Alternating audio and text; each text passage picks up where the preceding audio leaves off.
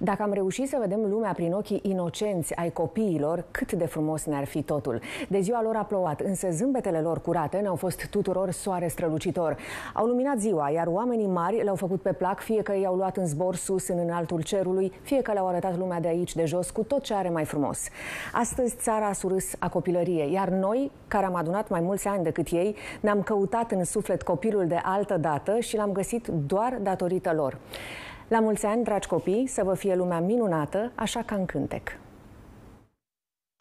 E o lume minunată în care veți găsi numai copii O lume cu mult soare și mii de șucării pentru copii La mulți ani tuturor copiilor!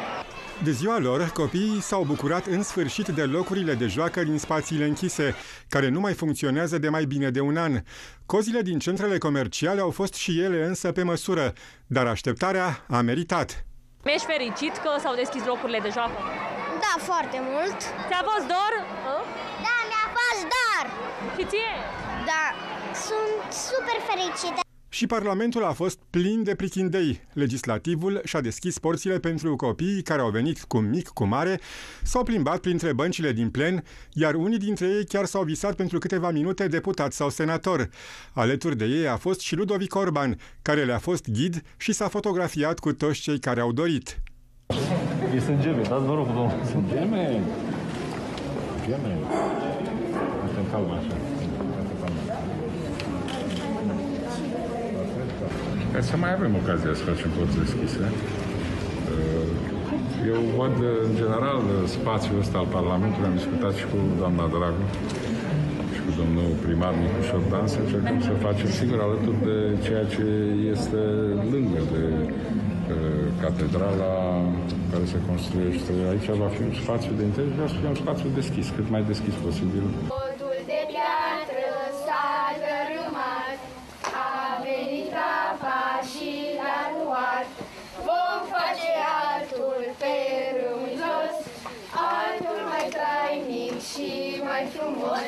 În Vrancea, de 1 iunie, copiii au uitat pentru o zi de telefoanele performante, dar și de jocurile pe calculatoare și tablete. În localitatea Broșteni, câteva mămici au scos copiii în aer liber și i-au învățat jocurile copilăriei lor. Cine vrea să joace ale și lupul cu mine? Eu! Bine, atunci o să joace Ionuț, Mihai, Iemi. Lupul, bă!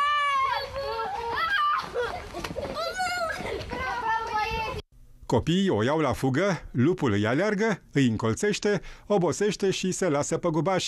Numai că oile nu-l iartă și îi pregătesc o pedeapsă. Ce faci, lupule? Ești obosit? Da, foarte obosit. Faceți băieți, îl pedepsiți, că a pierdut, nu v-a prins. Da. Da. da. Ca să iei un, uh, un balon de ăla și să se freci în cap până când se sparge. Neobosiți, copiii trec la joc, apoi la altul. Astăzi am jucat uh, oile și lupul, uh, telefonul fără fir, rațele și vânătorii și țară, țară vrămăstaș. Am jucat și bunicii mei. Chiar dacă sunt foarte vechi, sunt foarte distractive. După atâta distracție, copiii și părinților au ajuns la o singură concluzie. Ce bine ar fi ca ziua copilului să fie în fiecare zi.